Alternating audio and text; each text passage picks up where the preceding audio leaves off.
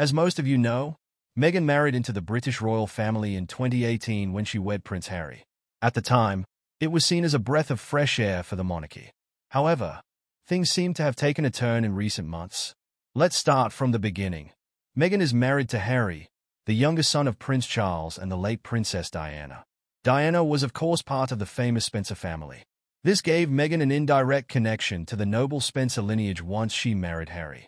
We often saw Meghan paying tribute to her late mother-in-law Diana through her fashion choices and charity work.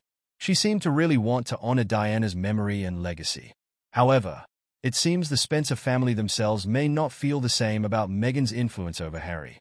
There have been rumors circulating of a growing rift between the younger royals and the Spencers.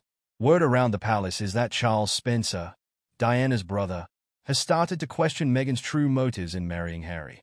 Apparently, Spencer has heard some not-so-flattering stories about Meghan's ambition and desire for fame and fortune. He finds it suspicious that she married Harry so quickly after meeting him. Many royal experts agree their whirlwind romance did seem rather rushed. Some allege Meghan had her sights set on a prince all along in her quest for stardom.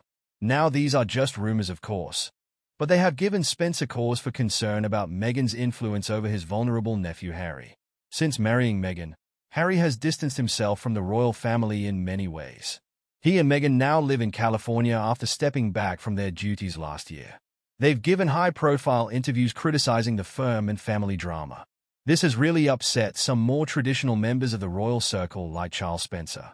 He sees Meghan as manipulating Harry for her own gain. There's said to be bad blood between Spencer and Meghan because he doesn't trust her intentions. Things came to a head recently when Spencer made a dramatic move. He had Meghan's name removed from the official genealogy of the Spencer family. That's right. In a highly symbolic gesture, Charles Spencer Directive had all records and references to Meghan expunged from the official Spencer family trees. No longer will she be listed as having any connection to the noble lineage through her marriage to Harry. This was a real slap in the face to Meghan and a public disowning of her by the Spencer clan. Word is Spencer feels Meghan misled Harry and the public about her true goals. She presented herself as a virtuous outsider joining the beloved royal family. But Spencer believes her claims were disingenuous. By cutting all ties genealogically, he is essentially denying Meghan was ever truly part of the esteemed Spencer dynasty. This has certainly added fuel to ongoing rumors of a rift between the younger royals and the Queen's relatives like the Spencers. So in short, Charles Spencer, Diana's brother, has taken the highly controversial step of removing Meghan Markle's name from the official Spencer family tree records and histories. He doesn't trust her intentions in marrying Harry and upset how she's influenced him away from the royal circle. This major dish shows the bad blood really boiling over between the Spencers and the Duke and Duchess of Sussex. It will be very interesting to see how this all plays out. Let me know your thoughts on this dramatic development in the comments section below. Do you think Charles Spencer is right to distrust Meghan?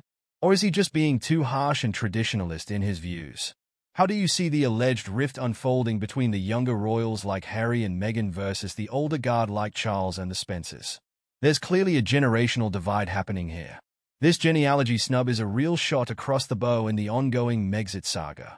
Stay tuned for more royal updates. Thanks as always for watching and don't forget to like and subscribe for more videos about the British royal family.